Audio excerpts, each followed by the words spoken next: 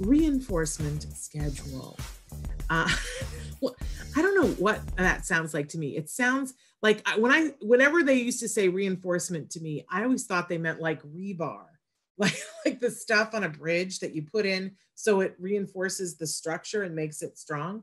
Um, took me a while to figure out what they were talking about. So a reinforcement schedule sounds like somebody's going to lay rebar to me. Um, that is not what it is, although it's adjacent, right? Because we do want to make something stronger, right? And we want to do it on a regular basis. So let's take a look at what reinforcement uh, schedule is. First, we're going to give you the actual definition, and whenever possible, I try to make fun of it uh, because we all need a hobby. Reinforcement schedule, a schedule of reinforcement. Ta-da! Well, now they've cleared that up for me uh, a, re- a schedule of reinforcement that systematically thins each successive reinforcement. Just keep pounding. Don't change the words. Just throw, keep throwing the same ones at us. Thins each successive successive reinforcement opportunity independent of the participant's behavior by using arithmetic algorithms or geometric progressions to determine which responses obtain reinforcement? Well, you know what? If I think that reinforcement is rebar, this definition is completely useful to me. Really useful, right? What? Because how many times do they say reinforcement here? A, a, reinforcement schedule is a schedule of reinforcement. Well, my work here is done, right? This is why we have to do. And then I don't know about you, but as a parent of a child and uh, on the spectrum, and somebody says, Well, we're going to talk about your reinforcement schedule. And then they start talking about arithmetic algorithms and geometric progressions. What the heck? So, useless, useless to me. Let's go on to our working definition here and see if we can't make heads or tails out of this thing. Okay, so reinforcement schedule is not giving, uh, look, there's the word again. Uh, not giving reinforcement every time, but deciding to give it mindfully to keep targeted behaviors continuing. All right. Sometimes the the you know the work working definition is not not that much better. So let's talk about what reinforcement is, because this can be a little bit tricky.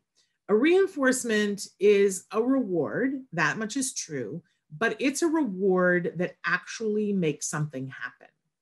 So a lot of times we're guessing what's reinforcing, um, and and that's okay, uh, as long as we're checking in with the individual to see what they want. So you know, and you can do this with very small babies. We've talked about this before. We do a preference assessment, and we set up three stuffed animals, and you know, we see that the baby picks up the the bunny.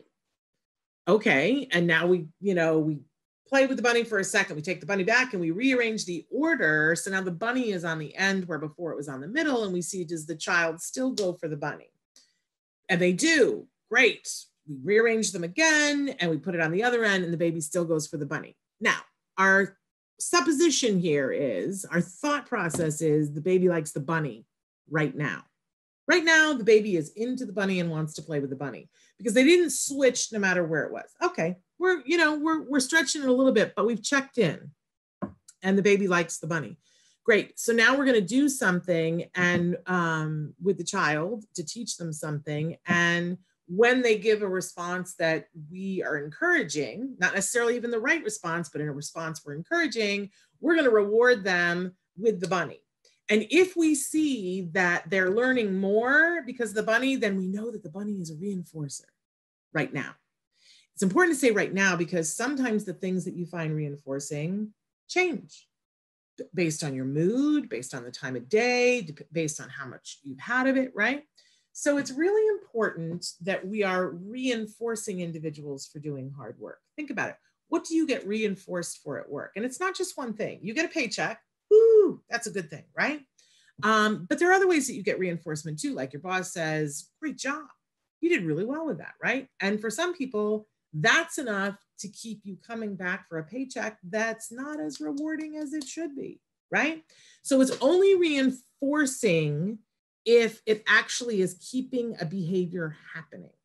So as we are, we start in the beginning and, and we give a lot of reinforcement And then we start to change it a little bit.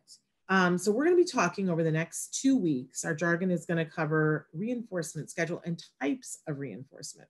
So in the beginning though, when you're teaching something, you're giving reinforcement a lot. But then we start to look at, you know, how do we want to be mindful about this?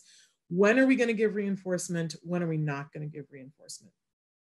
Parents get all tweaked about this why should I give my child a reward for cleaning their they should just want to clean their room. Well, who wants to clean their room? First of all, right? Uh, or they should just want to be polite to someone. Um, that's great, and we want to work towards that. Um, but most people don't do something unless it's reinforcing. I like to tell the story for my son. There was a time when we were we were working on a safety protocol, and the beginning of the safety protocol, before you can even teach what's safe, you got to teach them who to go to if something happens. So it was on our schedule to go to visit. Um, first, I had to take pictures of all the stores that we went to. So, like, there was a picture of Trader Joe's, there was a picture of Target, right? Um, and then, and they helped him to identify, you know, that those were places that we go to. Then we went to those stores, and he had to find the workers there and figure out um, what, like at Target, the workers wear tan khaki pants and a red shirt and they have a name tag. And that's how you know that they're a worker. Well, that's different than the Trader Joe's people. Trader Joe's, they wear big Hawaiian shirts and a name tag, right? So he really keyed into the name tag thing and and was you know because they were like how can you find the worker here right and by the way they generalized with it with him um to you know so that we went to places that we had never discussed before and they would say to him hey who are the workers here and he would you know go oh i think you know it's them and it was somebody who was wearing a white shirt with black pants so you didn't get the idea that you know it's always a red shirt with khaki pants right um, but one of the things that he noticed was that a lot of times workers have a name tag, and he was learning how to read at the same time. And he, so he would just sort of read out loud and go, Betty, when he would see the name tag, right? And that was just him identifying, oh, okay, this is the worker. Well, whenever he was this cute little boy, and whenever he would see somebody's name and say their name, people orient to you and they look at you and they go, hi. And when you're cute, they do a big and sometimes they give you a lollipop and some so he learned oh when you look at somebody's name tag and say their name people like it and you get things because they like it to this day i mean you know he's this big tall bushy haired bearded man now. Um, but it's and I, he probably doesn't even remember this but it's ingrained in him whenever we when we used to go places. We don't go anywhere anymore. But he would see people and and uh, you know he'd say hi doug. How you doing today? Reading their name tag. And doug would always be like doing well sir doing well. And and my son finds that still reinforcing because he got a great reaction from it so um you know sometimes we we start something and it's reinforcing and we don't know why it's reinforcing um but if there's something pleasurable about it, most things that have something pleasurable will become reinforcing and they will encourage a behavior to stick in. So for parents who are freaked out about like, why do I constantly have to be giving my child a paycheck?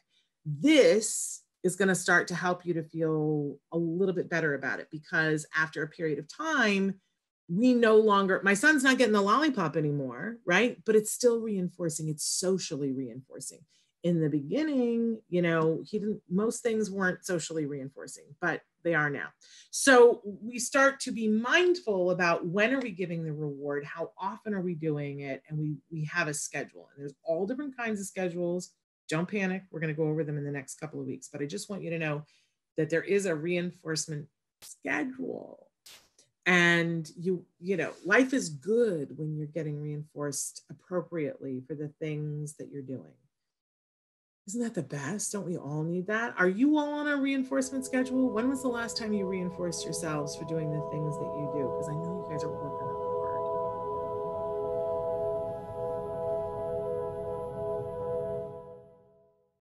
Hey, thanks for watching Autism Live. To subscribe, click here.